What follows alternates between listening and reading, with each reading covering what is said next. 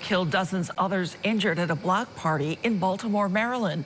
An urgent manhunt is underway and the search for answers. ABC's Ike Ejiochi has more.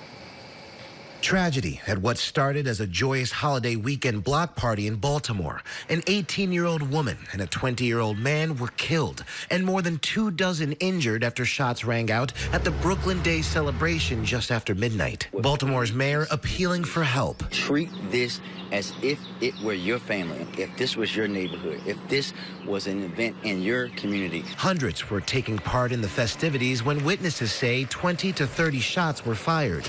Nine victims were taken from the scene in ambulances. Another 20 walked into area hospitals with injuries. Remnants of the cookout remained on Sunday. Bikes, folding tables, chairs, and party cups littered the area after people scrambled to flee. Our detectives are currently working an extensive crime scene. Earlier in the evening, people in the city's Brooklyn community had mistaken fireworks for gunfire. The ATF is supporting Baltimore police in the investigation, helping to process and collect evidence. Ike Ejiochi, ABC News, Washington. And in Wichita, Kansas, at least seven people were hurt during a nightclub shooting that sparked a stampede. Two people were trampled as panicked clubgoers fled the scene. One person's in custody.